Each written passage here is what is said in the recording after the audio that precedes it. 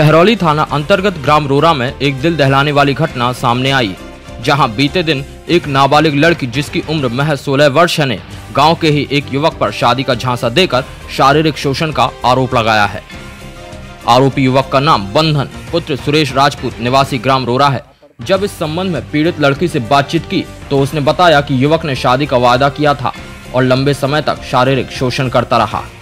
और जब पीड़िता ने आरोपी युवक पर शादी का दबाव बनाया तो उक्त युवक अपने वादे से पलट गया और शादी करने से मना कर दिया। और साथ ही वह पीड़िता को धमकाता भी रहा कि इस बारे में वह अपना मुँह बंद रखे और किसी से कुछ ना कहे। क्या नाम बेटा क्या मामला है? कौन ले गया था तुम्हें? क्या नाम उसका?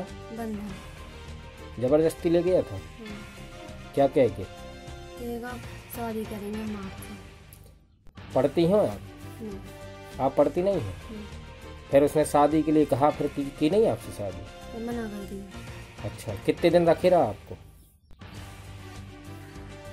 दो तीन महीने। दो तीन महीने साथ में रखे रहा?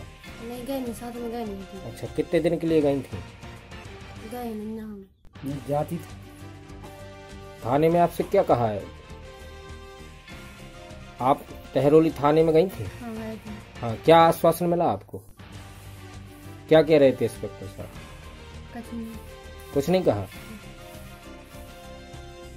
और कौन कौन गया था आपके साथ? पापा गए थे मम्मी गई थी हम गए थे पापा कहाँ हैं आपके? क्या मामला है पूरा? पूरा जो ही मामला है। हम्म। जो बच्ची बता रही वो सही है? हाँ वो सही है। आप टहरोली गए थे क्या थाने? थाना रिपोर्ट कर दिया है। क्या कहा इंस्पेक्टर साहब ने? सुनागी नहीं भाई हमारे क्या कह रहे थे? कत्ते झूठा है ये मामला। ये कहा उनने? हाँ। कौन मिला था आपको? दरू गई अच्छा। आपने ये नहीं कहा कि बच्ची कह रही थी ये झूठा थोड़ी हो सकता? कही हमने खूब। फिर क्या कह रही? थी? कत्ते ठीक देखे ये कहा देखेंगे अच्छा इसके बाद फिर आई है क्या पुलिस गाँव में आपके? हम्म। कल आई थी शाम के। हम्म, शाम के परसों आई अच्छा। आज आप गए थे टहरोली? आज गए थे। हाँ क्या कह रहे थे? बोली आएँगे। इस पूरी घटना की जानकारी पीड़िता द्वारा टहरौली थाने में दी गई। टहरौली पुलिस को जानकारी मिलते ही पुलिस ने आरोपी को तलाशना शुरू कर दिया है। टहरौली से अमित शर्मा की रिपोर्ट बुंदेलखंड टुडे झांसी।